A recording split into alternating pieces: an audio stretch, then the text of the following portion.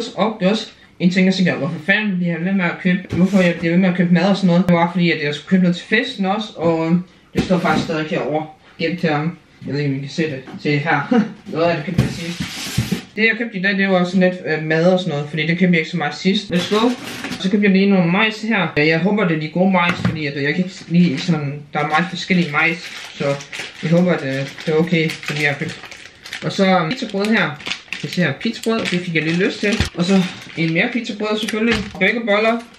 En af hver burgerdressing og pomfrit dressing. Så det er lækkert. Så købte jeg lige noget basil og noget toffee. Toblerone, mand. Jeg elsker bare Toblerone, mand. Altså, dem der ikke elsker Toblerone, ikke? Og de må... Det er det bedste chokolade ever. Toblerone, ikke? godt. Det er det bedste chokolade, der findes. Og så kommer toffee bagefter. Men ja, toffee, det er bare det bedste. Og noget glemt lyd, det gode lyd der, nå, det går nok. Når lasagne her, det var lige på tilbud. Når lasagne der. Og så købte jeg lige noget tomater her. Jeg ved ikke, kan se. Så lige nogle æbler. Nogle bananer. Gurk og noget løg her. Jeg har taget rimelig mange dage nu, så, så det er mega dejligt. Købte jeg lige noget pulled pork her. Bacon. Kunne at jeg skulle lave en bacon challenge på et tidspunkt.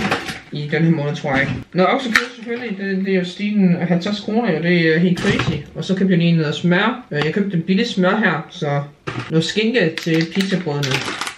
Og så købte jeg lige noget mælk her. Jeg håber, I kan se det. Det øh, håber jeg, I kunne. Øh, Så skal jeg lige have væk her.